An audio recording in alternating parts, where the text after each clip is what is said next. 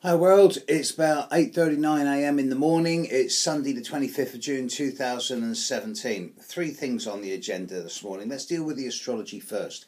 The moon is now in Cancer. It is opposite Pluto as I speak and moving away, moving into square with Uranus over the next 13 or 14 hours. There'll be a void moon much later tonight, UK time for four or five hours, no big deal. Um, Mercury is exactly on the midpoint of the Sun and Mars. Not too worried about that. There is an exact square right now, just in the last couple of hours, from Mars to Jupiter. We're going to start hearing a lot more about Pluto over the coming couple of weeks. And with the moon opposite Pluto now, Mars coming into opposition to Pluto over the coming two or three days, Mercury coming into opposition in the coming two or three days, and Jupiter completing, finally, its long going square to Pluto over the coming month or so, we're going to hear a lot about Pluto. So I thought, let's start this process by talking about the positive sides of Pluto. Pluto deals with transformation. Think about that word. Trans, it comes from the Latin meaning across the board, stretching wide, encompassing everything. Form is one's shape to, uh, an Asian to, to, to and it, it, involves some type of movement. So if you say transformation, it, it involves invokes a kind of shape shifting, a regeneration, a rebirthing. All good Plutonian words. Pluto purges, detoxes, cleanses, purifies, and eliminates but it also transforms, regenerates, and rebirths through that process. It is the caterpillar changing into the butterfly, the snake shedding its skin, uh, the, the, the, the, the um, phoenix rising from the ashes. So we're going to hear a lot about Pluto in the coming couple of weeks because there's a lot of stuff coming up, and much of it is going to be challenging. But remember, underlying all this, Pluto in Capricorn's main purpose, if you like, is for transformation of the boundaries and structures of government and society and that all change is good, even if it's painful. Because if it weren't change, it would be entropy and decay.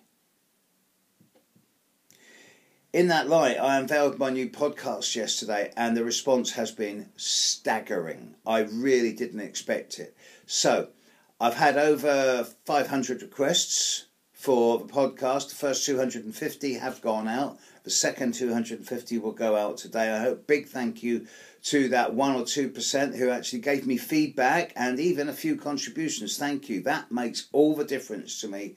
Big thank you for that. You know who you are. There's five or six of you out there who have really, yeah, you're brilliant. Thanks. And um, yeah, feedback, please. I'll, I'll, do some, I'll do another one on that soon. There will be some. I'll, I'll promote it in advance this time, so that I'll, I'll I'll fish for questions. But everyone I know is really happy with it, and it made What's really nice is I heard from so many, many, many people via email that I've never heard of, that I never knew existed. A few of you surfaced who have been hiding pine tags on YouTube and fessed up as to your real name or identity. And it's like, wow, thank you, thank you for everything you've done. And just thank you. I am truly overwhelmed. I'm absolutely gobsmacked by the kind comments that came into me yesterday. So thank you, all of you people out there who have watched the podcast and who wanted it. You're, you're, you make a difference to me, and hopefully I'll continue to make a difference into the world as a result. So thank you. Now I'm not going to stop saying that, otherwise it's going to get vacuous. Um, and then today's if. There's an if for today. If you could discover one item, one thing from the past that had been forgotten, lost, or destroyed and bring it back into the world, what would it be? Would it be the, the notebooks of Nostradamus? Uh, who, who knows what it would be? I know what it would be for me. I would bring back the libraries of Alexandria, the lost libraries of Alexandria that were destroyed uh, about 50 years before Christ, before 0 AD. Uh, apparently, that contained all the knowledge that had been accumulated in the ancient world, and I would love to revisit that. I'd love to go back there and have a look at that. Okay, I've got to go and get a lot more podcast stuff out there. So, big thank you once again to all you people out there, and I'll see you tomorrow for the week ahead. Have a good day. Moon's opposite Pluto at the moment, it's squaring Uranus for the rest of the day.